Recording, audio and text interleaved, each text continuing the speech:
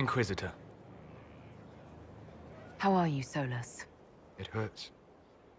It always does. But I will survive. Thank you for coming back. You were a true friend. You did everything you could to help. I could hardly abandon you now. The next time you have to mourn, you don't need to be alone. It's been so long since I could trust someone. I know. I'll work on it. And thank you.